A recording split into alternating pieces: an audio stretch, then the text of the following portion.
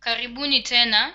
Naenda kushughulikia uthibitisho wa utendakazi wa utambulisho wa trigonometry ambao ninafikiri ni wa kushangaza. Nadhani huu uthibitisho si wa kawaida, hilo mpaka nikubali. Huu utambulisho, kusema ukweli, haunge ni lazimu nichore huu mchoro hapa, lakini wacha tuanze moja kwa moja. Tuseme tu tunataka kugundua njia nyingine ya kuandika sin. Sin ya alfa, sin ya alfa ongeza ongeza beta ambapo alfa na beta ni vitu viwili tofauti ni kama saini ya nyuzi 44 na hamsini. Sasa nataka kujua ningeandika tu hapa saini ya nyuzi tisini ingekuwa rahisi. Je tunaweza kuandika hii kama nyongeza ya saini ya 44 na hamsini? Lakini nafikiri mtaona jinsi hii jinsi hii itakavyokuwa. Sasa wacha turejelee huu mchoro. Wacha tuseme hii wacha nitumie rangi nzuri. Hii pembe hapa ni alfa na hii pembe ni beta sawa. Na hii pembe pembe yote hapa ni alfa ongeza beta. Sasa tunataka kupata sin ya alfa ongeza beta. Lakini sin ya alfa ongeza beta ni sin ya pembe yote. Upande kinyume kwa hypotenuse upande kinyume wa hii pembe yote ni tukitumia hii pembe tatu haki pembe tatu ba acha upande kinyume ni bacha. Sasa hiyo ni sawia na bacha. Hiyo ni sawia na bacha. Bacha kwa hypotenuse. Hypotenuse ni aba. Kwa hypotenuse aba. Bacha kwa aba ni saini ya alfa ongeza beta. Sasa tunaweza kuandika bacha kwa aba tofauti zikawa labda mtu aliyegundua huu uthibitisho alikuwa tu anafanya mchezo ndipo akachora huu mchoro hapa. Sasa nitaandikaje bacha tofauti? Bacha huu urefu wote bacha huu urefu wote. Ni nyongeza ya bada ongeza efa ongeza efa haya tunayajua kwa sababu huu hapa ni mstari uliokamilika na utagundua haya kwa kuangalia tu pembe haki.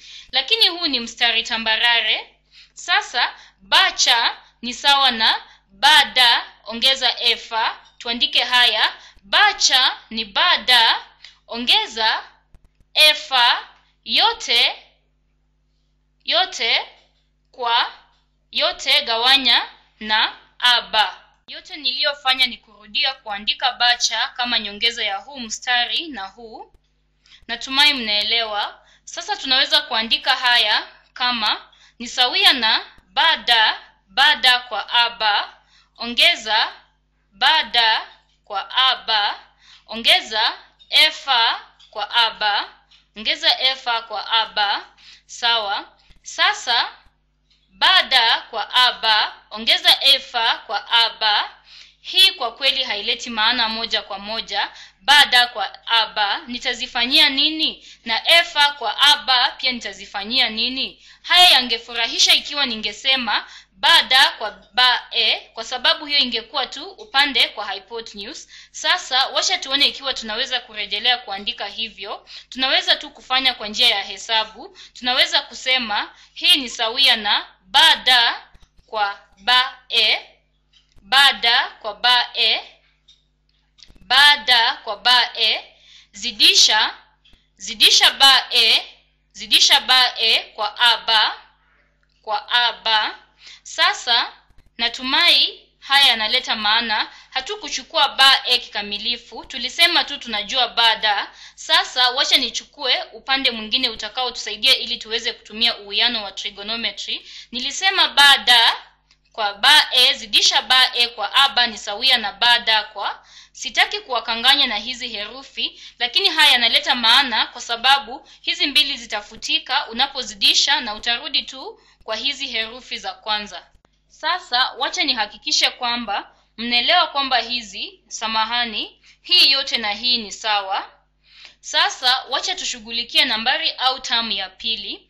Tunajua efa je itakuwa vyema tukihusisha efa na kitu uh, kama hypotenuse ya hii pembe tatu haki kama a a e wacha tufanye hivyo. Ongeza efa efa kwa aba ni sawia tu na efa kwa ae kwa ae zidisha zidisha ae kwa aba kwa aba tunarejelea tena kuzidisha akisami hizi samahani kuzidisha akisami hizi zitafutika na tunapata hii tena.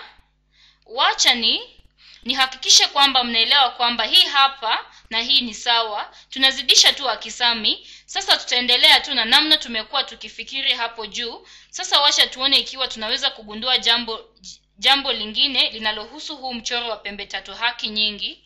Ikiwa hii pembe ni alfa tukiwa na mstari afa afa efa ni mstari sulubu wake sawa na da e ni mstari sulubu wa efa sasa da e hu mstari na afa ni mistari sambamba. Kwa vile afa ni mstari sambamba na da e halafu a e inakutana na mistari yote tunajua kwamba hiyo samahani hizo ni pembe za ndani zinaitwa pembe za ndani. Na hii pembe hapa ni alfa fikiria kuhusu mstari mrefu sambamba hapa na mwingine sambamba hapa halafu huu mstari unakutana na mistari yote. Kama haya yanakukanganya unaweza kurudia kutazama video ya geometry ya mistari sambamba. Sasa hii pembe ni alfa halafu hii pembe hapa ikiongezwa na alfa ni nyuzi tisini. Ni tisini ondoa alfa sawa. Na ikiwa hii pembe ni tisini ondoa alfa hii pembe ni tisini halafu tunajua kwamba hii pembe ongeza hii na hii tunapata mia moja themanini. Sasa tunajua kwamba hii ni sawia na alfa ikiwa hamjaelewa hapo fikiria hivi. Alfa alfa ongeza tisini ondoa alfa ondoa alfa ongeza tisini ni nini? Alfa ongeza tisini ondoa alfa. Sasa hapa alfa alfa na hasi alfa zinafutika. Halafu tunabaki na tisini ongeza tisini sawia na mia moja themanini. Sasa tunajua kwamba hii pembe hapa imeanza kuwa ndogo na ni vigumu kuisoma. Tunajua hii pembe hapa ni alfa. Wacha turejelee yale tuliyokuwa tukifanya. Sasa bada kwa ba e ni nini? Bada kwa ba e huo ni upande wa karibu wa alfa alfa bada kwa ba e. Sasa ni upande wa karibu kwa hypotenuse. Upande wa karibu kwa hypotenuse hiyo ni cosine. Sasa hiyo ni sawia na cosine ya alfa ni sawia na cosine ya alfa cosine ya alfa na ba e kwa a ba ni nini? Ba e kwa a ba. Hiyo ni tukitazama hii pembe hii pembe tatu haki kubwa huo ni upande kinyume wa beta wa pembe beta kwa hypotenuse sasa upande kinyume kwa hypotenuse ni nini? Ni so sin sasa sin ya beta sasa sin ya beta ni ba e kwa aba. Hiyo ni sin ya beta sin ya beta sin ya beta tuandike chini sin ya beta sasa wacha nirejelee uthibitisho wetu.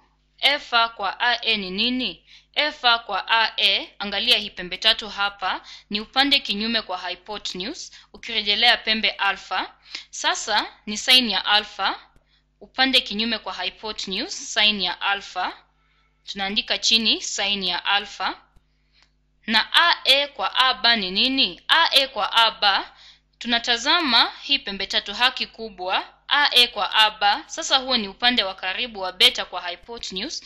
Upande wa karibu kwa hypotenuse ni cosine K, cosine ya beta hii pembe hapo. Nafikiri tumemaliza. Tuandike chini cosine ya beta cosine ya beta. Hii hapa kwangu inahitaji matumizi ya akili sana.